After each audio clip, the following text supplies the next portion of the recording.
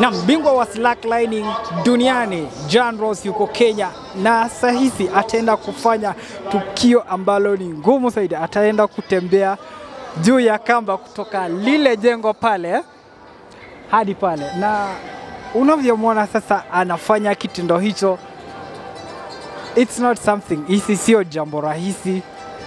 Confidence ambayo ako nayo akafanya tukio kama hili. Oh, this is just amazing.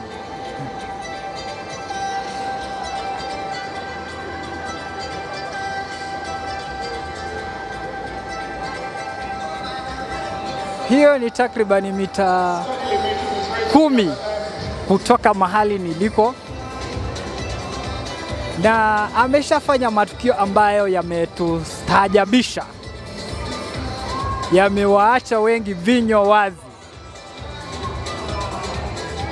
Huyu ni mtu ambaye amefanya slacklining juu ya some of the most difficult terrains, high cliffs, juu ya mito, very dangerous rivers duniani, na tutakuwa tunamwongelesha baadaye aweze akatu, akatuambia alianza sl, uh, slack lining lini, uh, advice yake kwa wale wanaotamani kuwa kama yeye, kufanya mchezo wa slacklining ambao ni mpya nchini Kenya.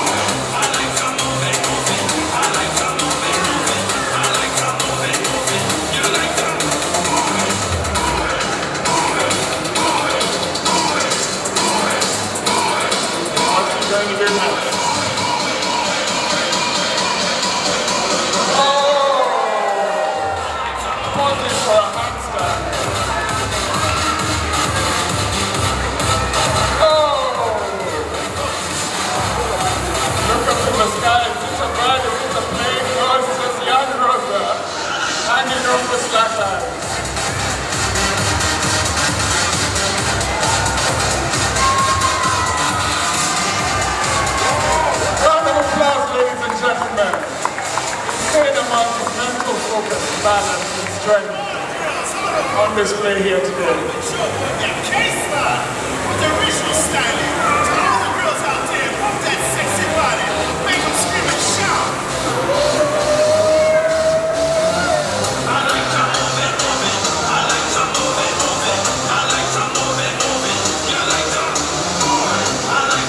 This is why he's multiple time world slackline champion.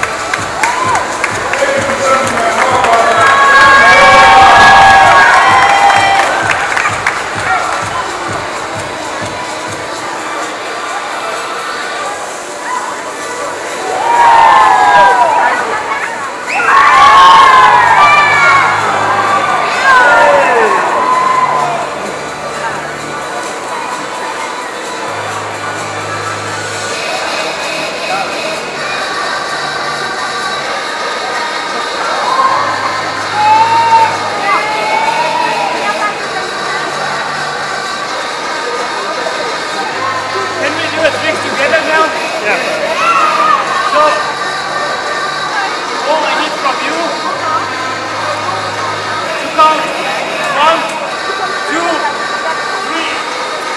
And we do that when I'll be up and it comes down. It means one,